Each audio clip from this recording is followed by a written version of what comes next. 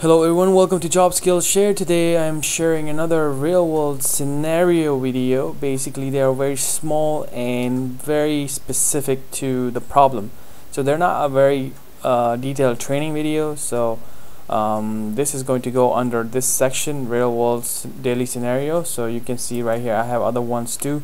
Um, these kind of videos kind of really help new new learners that exactly what type of problems do we um, put our hands on and how do we fix things. Um, sometimes it's like a book type solution that you have to follow and sometimes you have to be very raw and just do whatever to make it fix.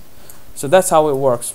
In outlook 2 outlook scenarios will be like you upgraded uh, from 2010 to 2013 you like did mass deploy it to like 200 computers and then you have like almost 10 15 users that are getting errors on their outlook something went wrong uh, emails didn't work properly errors are popping up. So where do you where do we usually go and kind of like we know that if I do this it's going to be fixed. It's like okay you know what? If there's a computer that's having an issue it's messed up then I know I have an image. Remember we did a lot of e videos about imaging. So I can just put that image in there and everything will be okay sometimes you want to troubleshoot things if you have time. Sometimes you just need to know where to go and do things. So that's what this video is about is where to, where to go to kind of troubleshoot outlook and fix some issues. So let's say for example this is outlook right here and you're having issue with it. When you click on it it just it's not opening up problem. So let's say for example I click on it and you get all these error messages right now error messages and it's not working for you. You put a password for the user and it's not working. It's an issue. Usually I would go is the first thing is to okay you know something is not right. What if they open like multiple outlook um, so at the same time you will see like four or five outlook are, are running at the same time. So that's kind of like you know not right. And I'll say hmm, something is not right. So I'll just basically kill end the process and that that went away. And if you if you see like multiple of them that means something is not right you just do that one time or clear like few other ones too and then reopen it. And it will say it's it's it want to open it in a safe mode sometimes you just open it and things works. That's one quick solution for something like very basic. But not always it's going to be like that. So you're gonna get a message again like this oh you know this is not it's not getting fixed. What do I do now? Um, one thing you need to know that if you know for sure that your emails are getting saved on the server which almost every company should do and that's how they do it it's saved on the server so you as a technician is not worried about you know messing their emails. You still have to need, need to back it up from a folder but still you know you're just not worried about it. What are, what what do we do like you know to fix this kind of issue? Like you have these issues right here. One other way is to basically go to the um, control panel and then go to the mail settings. And then you basically go to the email account or show profile. Here's a profile right here. You can remove that profile. Most of the time if this will fix the issue. So if I remove the profile and click yes click apply and then I'll say add another one. And if you put default Outlook profile it should automatically open a new one. And recreate everything from scratch. So this, there you go. So basically what's going to happen in a company when you're inside the company it will automatically pick their email. Since they're logged into the Active Directory it will pick their e name email and the password. It, it will basically automatically happens they will just click next next next. Sometimes they will get prompted. Now on Office 365 they will get prompted almost twice. They just need to click on uh, remember the password which when you change the password will again prompt them again. But you can do that and it will basically go through and everything will be nice and smooth. So that's an, one way to fix it right? Let's say this also fail. Where do you go after this and how do you fix it? Sometimes when you have is you have like email boxes shared email boxes a lot of things going on and it just gets messed up like you know and you want to like blow it off. You just want to like start everything from scratch. Where is this folder? Where is every, everything getting saved right now? So if we can fix it this way then we will go basically to another place and that's under your computer. You'll go to your C drive then you go to your users then you go to your account that user account.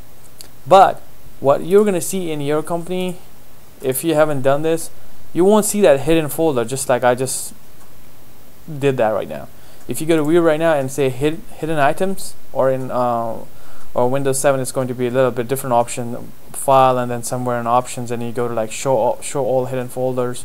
But here's you do hidden items here and you'll see app data.